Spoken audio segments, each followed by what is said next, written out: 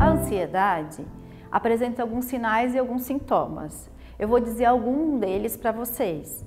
Quem sabe vocês se identificam. Irritabilidade, sudorese, dor de cabeça, cefaleia, insônia, taquicardia, tremor, sensação de medo, muito medo. É, tem relatos que as pessoas têm muito pesadelos, acordam à noite com um pesadelo. Se você percebeu alguns sinais ou sintomas em você, procure um profissional.